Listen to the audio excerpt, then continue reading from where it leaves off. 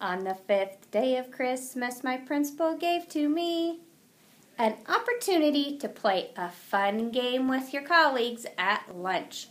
Figure out what the pictures mean. It's a famous Christmas song.